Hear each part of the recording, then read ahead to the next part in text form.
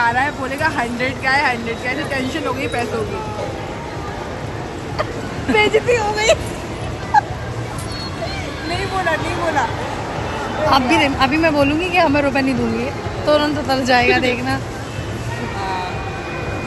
अभी देखना मैं बोलूँगी। टेंशन उसके रुपए कहाँ पे भी वो तुम बोलो कह दो कि आ, आ, भैया मौसी मना कर रही रुपए देने के लिए। ये देखो आ रहे हैं बहुत झूमते हुए।